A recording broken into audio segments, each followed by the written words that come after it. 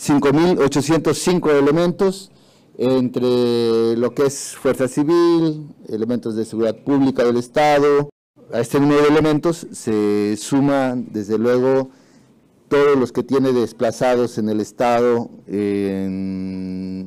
para esta época vacacional, la Sedena, la Marina, con elementos de CEMAR, y la Guardia Nacional.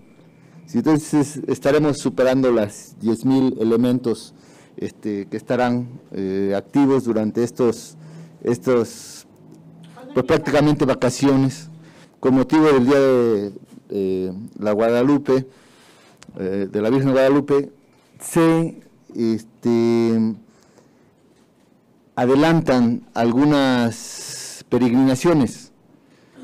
Entonces nosotros, desde antes les había comentado, iniciamos. El fuerte viene ahora, a partir del día 10, por eso nosotros estamos iniciando con este refuerzo.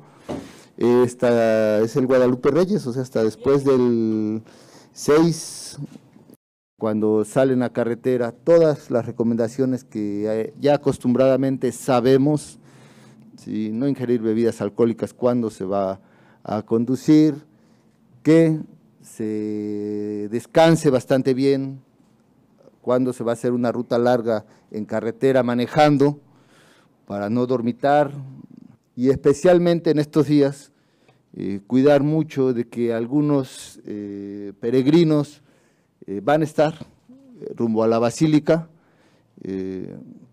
haciendo estas peregrinaciones que cuiden mucho eso que tomen las precauciones para evitar eh, accidentes.